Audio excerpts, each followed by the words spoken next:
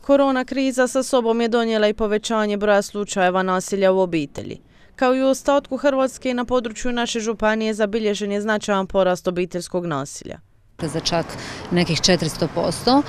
E, međutim, iako ovaj statistički podatak možda zvuči dosta strašno, u brojkama se ne radi o nekakvim e, izuzetno velikim brojkama, dakle zabilježeno ih je 88 u odnosu na 17 koliko smo ih zabilježili prošle godine. Ravnateljica Dubrovačkog centra za socijalnu skrb je također upozorila na ovaj problem.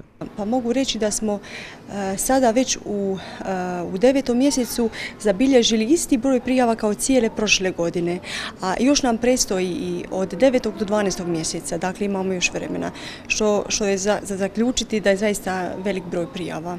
Uzroci su brojni, no većina njih potaknuta covidom. Ako su odnosi poremećeni, covid je još dodatno utjecao e, na ponašanja bračnih partnera, članova obitelji.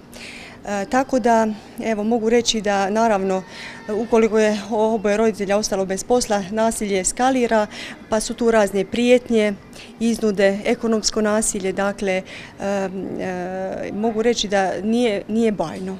Iz policijske uprave navode kako se gotovo pola prijavljenih slučajeva odnosi na verbalno nasilje, a oko 30% na lakše tjelesne ozljede. Sasvim je očekivano da u ovoj situaciji kada su ljudi e, puno više doma, kada se bore sa nekim možda i egzistencijalnim problemima, postaju možda malo nervozni i uslijed te nervoze oni labilni evo, e, znaju reagirati na ovakav način.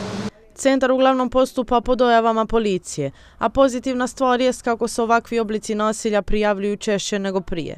Unatoč tome, ključ sigurnijeg društva leži u osvještavanju ovog problema i neodobravanju bilo koje vrste nasilja.